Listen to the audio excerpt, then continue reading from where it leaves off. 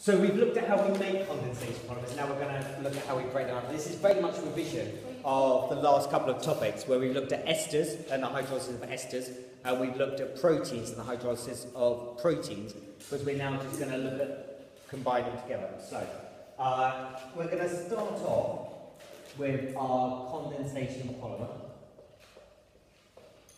And there are two types of condensation polymer.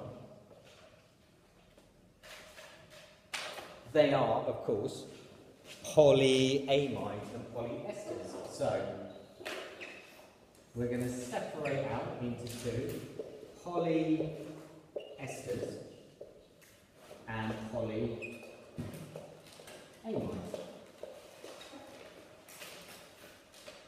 And you'll remember, I'm sure, from the previous topics, you can hydrolyse esters in two ways, and you can hydrolyse amides in two ways. So we're going to do that. So let's do polyamides first. We can use, oh, we can, we can use base hydrolysis and acid hydrolysis. So we can do sodium hydroxide aqueous reflux, and we can also do HCl aqueous reflux for polyamides, and we can do exactly the same for polyesters as well. Is this the end? Is it going to be that big? That's about it, yeah. We're going to use NaOH and reflux, and we're going to use HCl, aqueous, and reflux. All I'm going to add to this uh, is an example as I go down.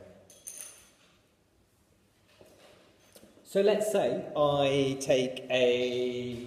Oh, do you want me to get you? You can do that and then we'll come back. Okay, so if we take a polyamide and we hydrolyze it with sodium hydroxide solution, what am I going to make?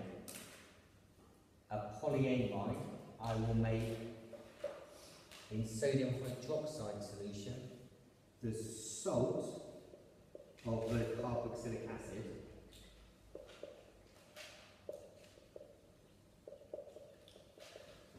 and I'll also make the amine. If I do the same reaction in HCl, I will make the carboxylic acid,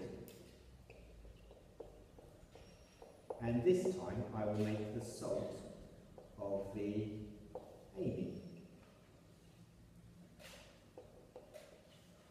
Because this is a base, so a react with the acid, that's an acid, so react with the base. If I'm look, looking at polyesters now, if I use sodium hydroxide solution, I will make the salt of the carboxylic acid.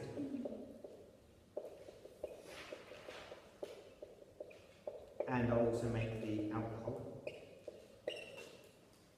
If I'm in HCl, I'll make the carboxylic acid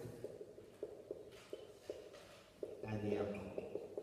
Because remember, alcohols are neither acidic nor basic.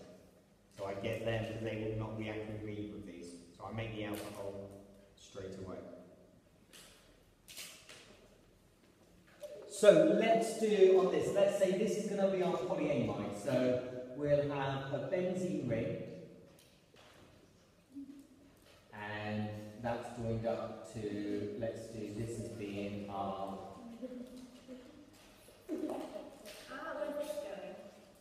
So that's my polyamide that I've drawn. And over this side, I'm going to do the same thing but make it a polyester. So I use the same benzene bit, but I'll change this to be a polyester because I've now got O's instead of the NH's. So I've got a polyester. So we're going to hydrolyze these up. So what bond are we going to break? We're going to break the yeah, amide bond there, and we're going to break the ester bond there. So, let's go back to do polyamide. I'm going to break this up. I'm going to make the salt of the carboxylic acid.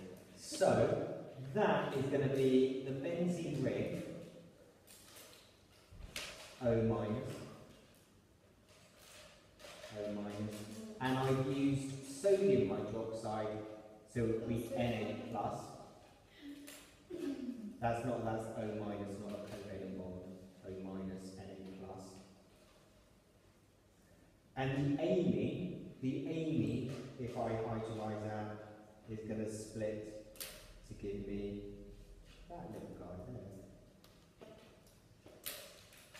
If I use HCl, it will give me the carboxylic acid.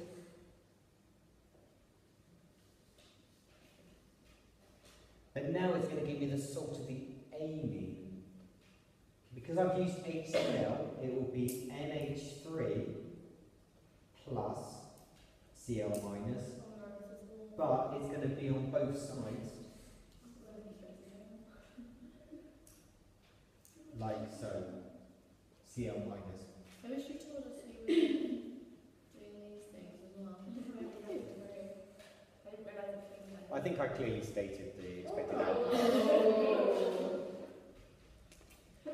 Obviously, someone wasn't Well, maybe it has something to do with it. What about this one?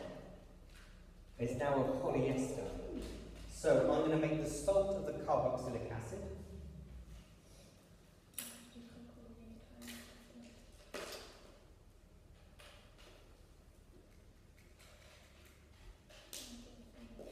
like so. But now I'm going to make the alcohol, which is going to be alcohol.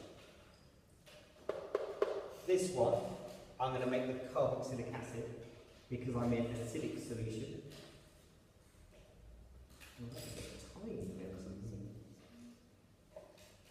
And I'm also going to make the alcohol